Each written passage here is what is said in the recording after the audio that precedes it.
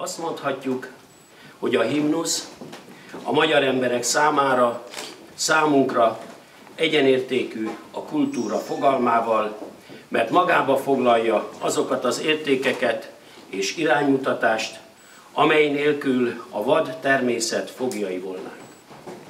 Hiszen a kultúra az, ami ismerősé teszi az ember számára idegent, ami arra serkent minket, hogy ápoljuk és gondozzuk környezetünket, hogy műveljük magunkat és közösségünket, és ezen keresztül meglássuk saját arcunk jellegzetességeit és személyes egyéni vonásait.